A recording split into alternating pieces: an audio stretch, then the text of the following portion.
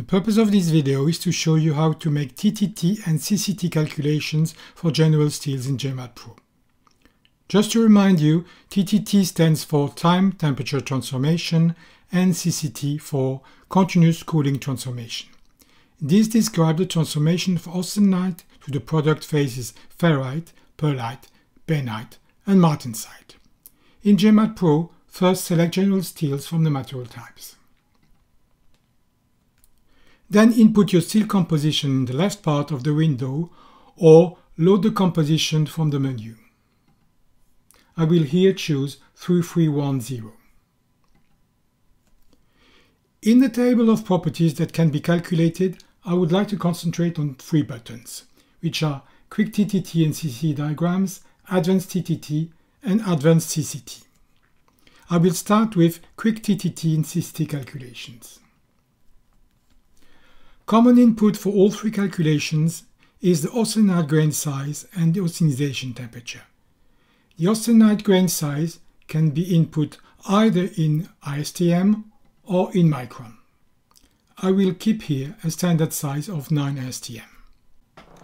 For the austenization temperature, one can either choose to let JMatPro find the A3 temperature and increment it by a chosen value, or one can directly input the austenization temperature. One can then choose to calculate a diagram with the standard start and finish curves at respectively 0.1% and 99.9% transformation, or calculate a diagram with a fixed transformation percentage. I will choose to calculate the standard diagram. Press Start to launch the calculation. First, Fermi quantities and phase compositions will be calculated, and then using a kinetic model to calculate the transformations. Let's briefly describe the generated diagrams. On the right side of each diagram, you will find listed the transformation temperature for each product phase, ferrite, bainite, pearlite, and martensite. For martensite, three temperatures are given for the start of transition as well as 50% and 90%. These three martensite transformation temperatures are represented by horizontal lines in both the TTT and the CCT diagram.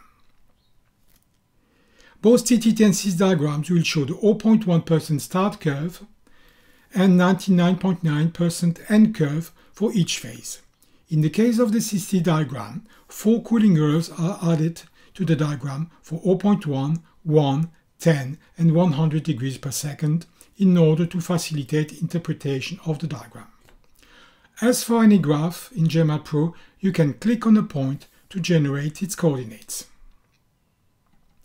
Let's now move to the so-called advanced calculation of CCT diagrams.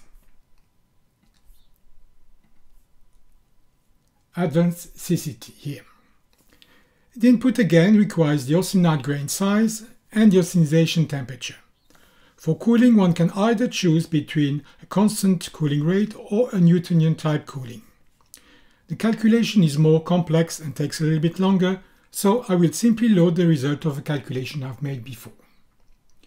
Load material type, 3310, and load the advanced CCT calculation.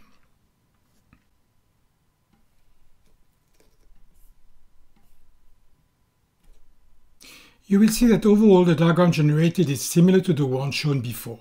However, in this calculation, we have used a more complex model, allowing to correlate transformations of each phase, and from this, we are able to calculate the final strength and hardness at room temperature for each cooling.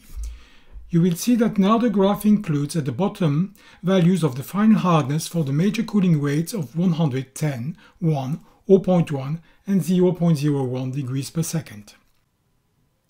But you can also click at the end of any cooling rate curve to get the final hardness, 0.2% proof stress and tensile stress, as well as the final amount of phases formed. In the toolbar, you can toggle the hardness unit between VPN and Rockwell C, and the strength unit between megapascal and KSI. Should you wish to do so, it is also possible to represent cooling rate along the x-axis instead of time. Let's finally move to the advanced TTT calculation.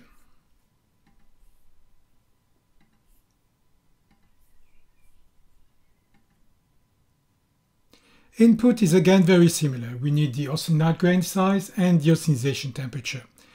There is, however, a choice given on the type of graph you wish to generate, focusing either on the individual phases amount or the total transformation amount.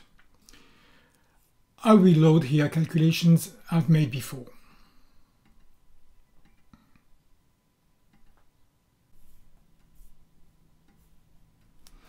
If you choose the phases transformed amount, the graph will show curves 1, 10, 50 and 90% amount of each individual phase formed, as well as a solid line to represent the completion of the transformation.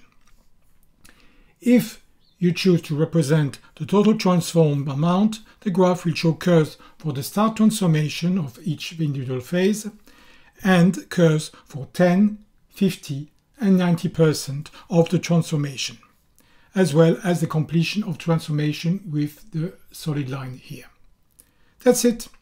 As you can see, TTT calculations in JMatPro are very easy and provide lots of information. Thank you.